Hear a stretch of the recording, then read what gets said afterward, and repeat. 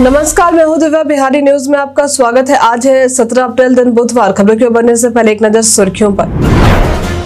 बिहार के युवाओं ने यूपीएससी की परीक्षा में लहराया परचम। आज है रामनवमी का त्योहार। बिहार के इन जगहों पर गर्मी के दिनों पर घूमने का ले सकते हैं आनंद। के के पाठक ने दिया नया आदेश। यूपी और झारखंड की पंद्रह रूटों पर बसों का होगा परिचालन। आपकी वोट नहीं देने पर करोड़ों रुपए हो सकते हैं बर्बाद। दुकानदार के द्वारा जबरन कैरी बैग के पैसे वसूलने पर मिल सकता है मुआवजा। आईपीएल 2024 में आज गुजरात और दिल्ली के बीच होगा मुकाबला। अब चलिए बढ़ते हैं बिहार के अब तक की 25 बड़ी खबरों की ओर विस्तार से।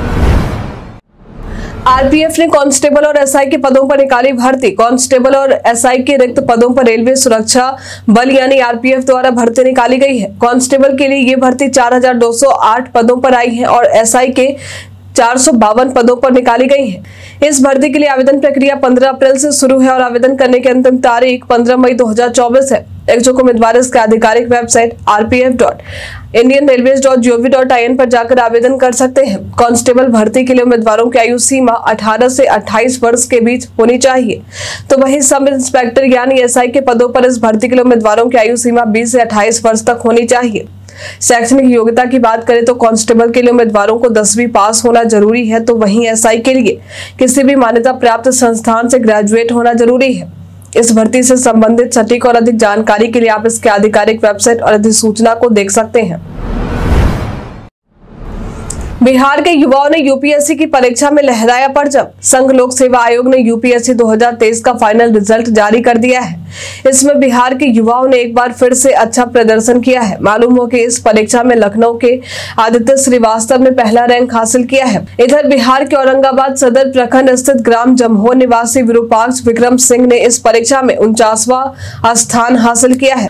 गोपालगंज ज़िले के हजियापुर के रहने वाले अनिकेत कुमार दुबे ने दो रैंक हासिल किया है। औरंगाबाद के ही रहने वाले डॉक्टर प्रेम प्रकाश ने यूपीएससी की इस परीक्षा में छह रैंक हासिल किया है, जबकि नरकटियागंज के रहने वाले सहनसार सिद्दीकी ने परीक्षा में सात रैंक हासिल किया है। इधर समस्तीपुर के शिवम ने इस परीक्षा में उन्नीसवा रैंक हासिल किया है। फ़िलहाल ये इनकम टैक्स के पदाधिकारी हैं। आज है रामनवमी का त्योहार। बिहार के साथ साथ पूरे देश भर में आज रामनवमी का त्योहार मनाया जा रहा है।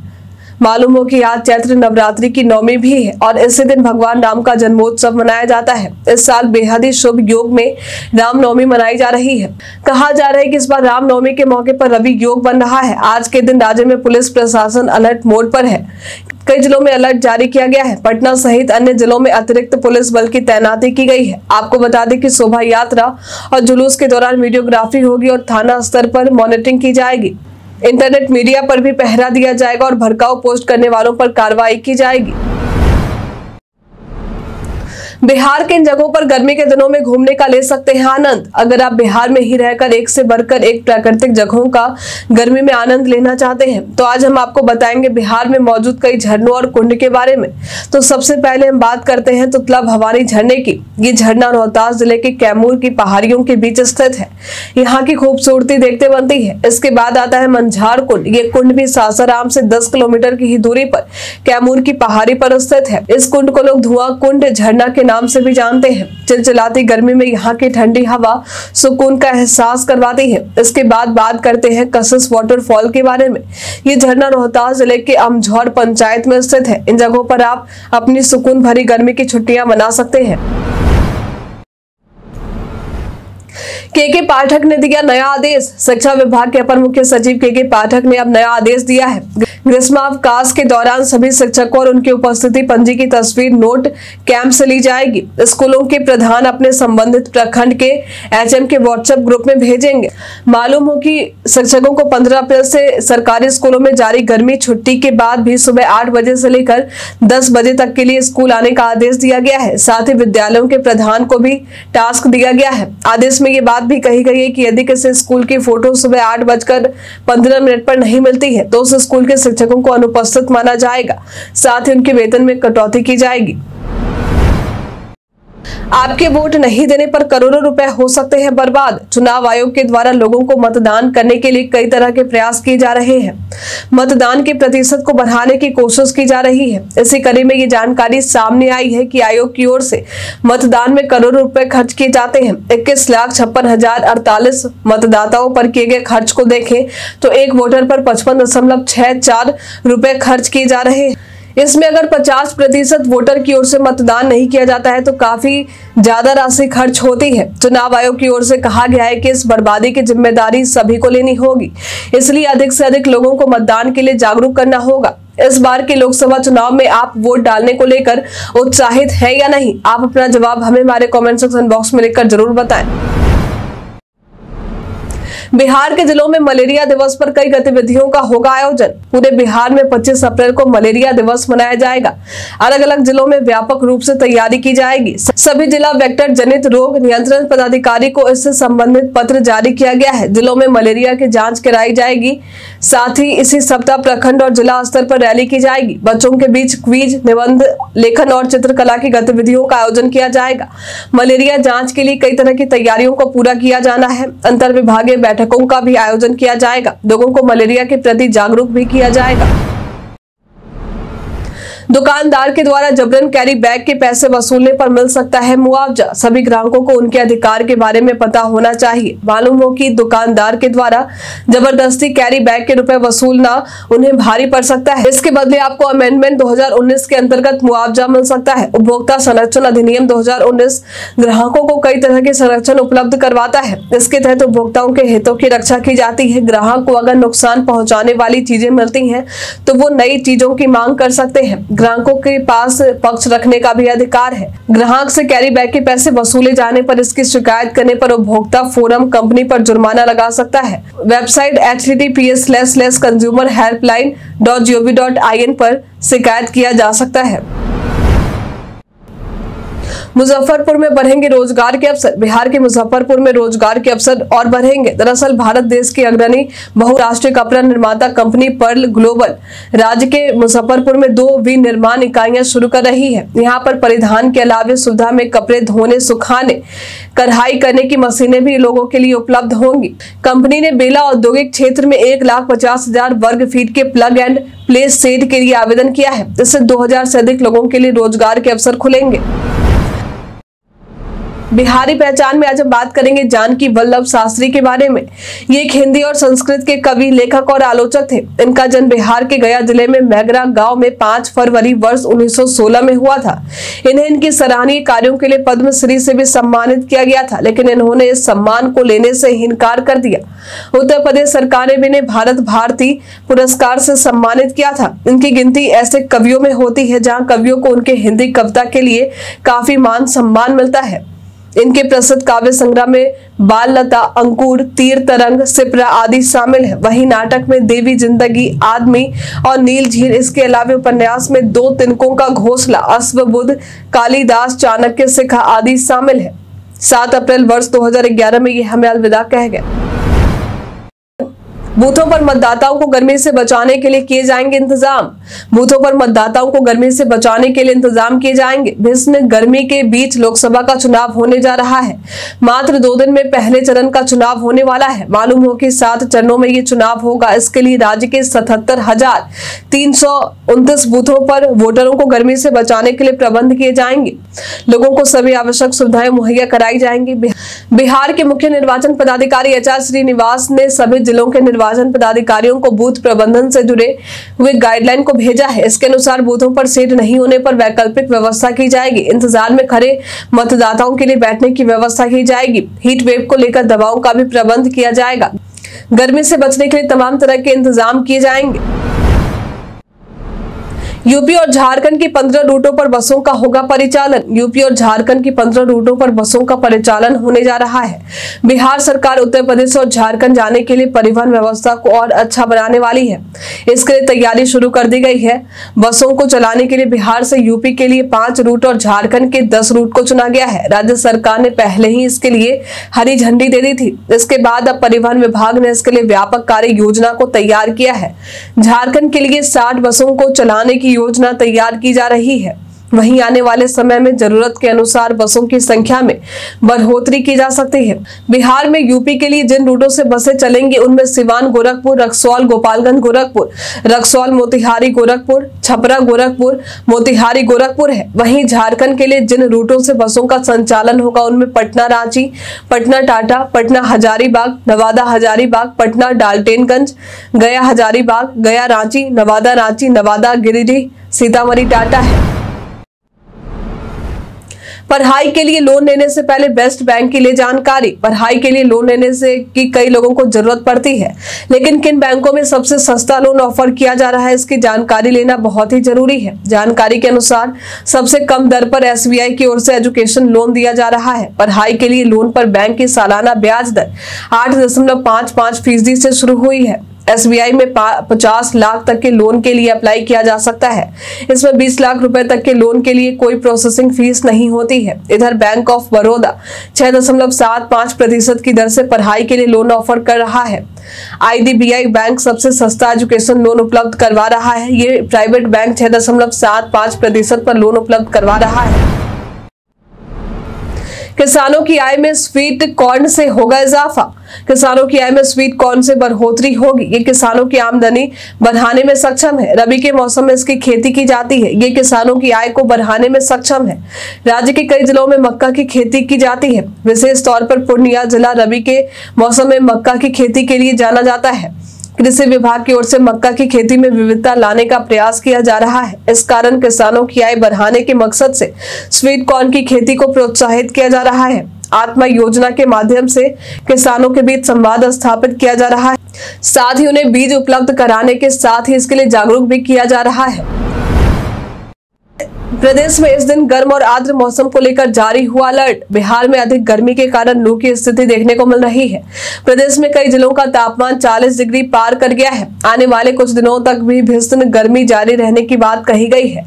प्रदेश में आज का मौसम शुष्क रहने वाला है। प्रदेश में कई जगहों पर अठारह, उन्नीस और बीस अप्रैल को गर्म और आर्द्र मौसम को लेकर अलर्ट जारी किया गया है। प्रदेश के आज अधिकतर जगहों पर अधिकतम तापमान अड़तीस से 40 डिग्री और न्यूनतम तापमान 22 से 24 डिग्री और कुछ जगहों पर 24 से 26 डिग्री तक रहने की बात कही गई है। जमुई लोकसभा क्षेत्र में पहले चरण के चुनाव से पहले भारी मात्रा में शराब बरामद।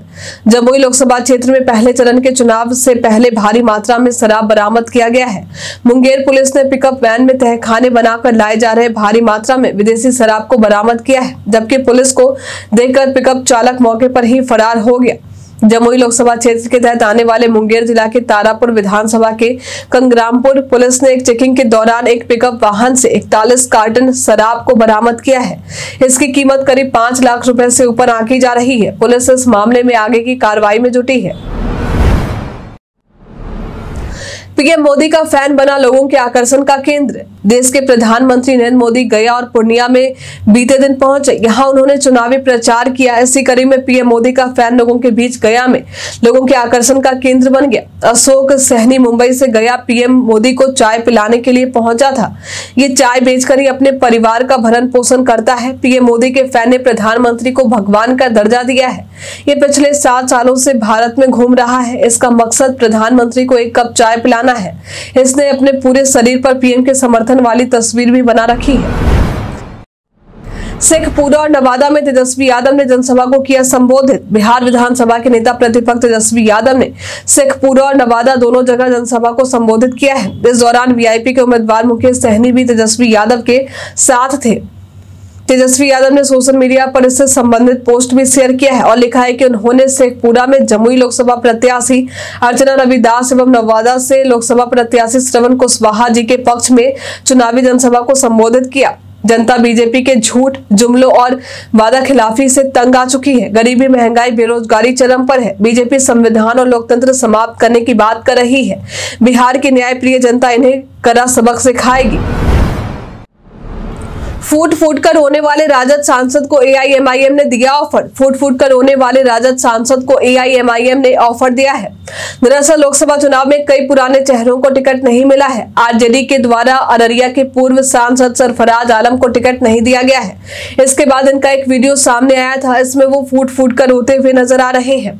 इस वीडियो की सभी चर्चा कर रहे थे। वहीं अब एआईएमआईएम पार्टी ने सरफराज आलम को पार्टी में आने का ऑफ़र दिया है। पार्टी के प्रवक्ता आदिल हसन ने राजद सुप्रीमो लालू यादव पर जमकर निशाना भी साधा है। साथ ही कहा है कि वो मुसलमानों की लीडरशिप नहीं चाहते हैं। इन्होंने सरफराज आलम की पार्टी में स्वागत किया है। इन्होंने सरफराज आलम का पार्टी में स्वागत किया है। टिकट कटने के बाद अश्विनी चौबे ने पीएम नरेंद्र मोदी से की बात। बक्सर से सांसद और केंद्रीय मंत्री अश्विनी चौबे ने पीएम नरेंद्र मोदी से बातचीत की है। दरअसल गया में बीते दिन प्रधानमंत्री नरेंद्र मोदी पहुँचे थे। यहाँ पर अश्विनी चौबे ने पीएम मोदी का मंच पर स्वागत किया। वहीं पीएम नरेंद्र मोदी ने अश्विनी चौबे को अपने पास बुलाया और बातचीत की। पीएम ने अश्विनी चौबे की पीठ भी ठोकी। मंच पर अश्विनी चौबे ने इस बात का संकेत दिया है कि वो पीएम के सिपाही और उनके साथ ही रहेंगे। दोनों साथ में एकजुटता का संदेश दिया। साथ ही बक्सर में बिगड़ रहे चुनावी संकेत को साधा है। आरजेडी नेता ने झंझारपुर की लोकसभा सीट से चुनाव लड़ने का किया ऐलान। बिहार में महागठबंधन में हुए बंटवारे के बाद झंझारपुर की लोकसभा सीट मुकेश सहनी की पार्टी वीआईपी के हिस्से में आई है। वीआईपी ने सुमन कुमार को अपना प्रत्याशी बनाया है। इसी बीच झंझारपुर की लोकसभा सीट से टिकट कटने के बाद राजद के नेता गुलाब यादव ने यहाँ से चुनाव लड़ने का ऐलान किया है। उन्होंने कहा है कि उनके साथ महागठबंधन में विश्वासघात हुआ है। बाहरी व्यक्ति को टिकट दिया गया है। उन्होंने कहा है कि वो हर हाल में यहाँ से चुनाव लड़ेंगे और अठारह अप्रैल को नामांकन भी करेंगे। हालाँकि उन्होंने इस बात का ऐलान नहीं किया है कि वो किस पार्टी से चुनाव लड़ेंगे। केबीसी सोलहवें सीज़न में वापसी के लिए तैयार। केबीसी सोलहवें सीज़न में वापसी के लिए तैयार है। इसके लिए 26 अप्रैल से रजिस्ट्रेशन की प्रक्रिया शुरू होगी। महान अभिनेता अमिताभ बच्चन ही इसे होस्ट करने वाले हैं। मालूम हो कि ये टीवी शो को भारतीय दर्शक खूब पसंद करते हैं और ये भारतीय टेलीविज़न पर सबसे अधिक पसंद किया जाने वाले शो में से एक है। सभी आयु वर्ग के दर्शक इस शो का आनंद लेते हैं। कौन बनेगा करोड़पति की ओर से अपना पहला प्रोमो भी जारी कर दिया गया है। इसमें महानायक हॉट सीट पर बैठे हुए नज़र आ रहे हैं। आईपीएल 2024 में आज गुजरात और दिल्ली के बीच होगा मुकाबला। आईपीएल 2024 में आज गुजरात और दिल्ली के बीच मुकाबला होगा। गुजरात टाइटंस अपने होम ग्राउंड में दिल्ली कैपिटल से भिड़ने वाली है। अहमदाबाद के नरेंद्र मोदी स्टेडियम में इंडियन प्रीमियर लीग 2024 का बत्तीसवां मैच खेला जाएगा। आपको बता दें कि दिल्ली की टीम ने अब तक अपने छह में से दो मुकाबले में जीत हासिल कर सकी है, जबकि गुजरात टाइटंस ने छह में से तीन मुकाबले में जीत दर्ज की है। ऐसे में दोनों ही टीमों के बीच इस मुकाबले को काफ़ी अहम माना जा रहा है। दोनों ही टीम इस मुकाबले में जीतने के इरादे से उतरेगी। आपके अनुसार आईपीएल 2024 में दिल्ली और गुजरात की टीम में किसके टॉप फोर में पहुँचने की संभावना है? आप अपना जवाब हमें हमारे कमेंट सेक्शन बॉक्स में लिखकर ज़रूर बताएँ।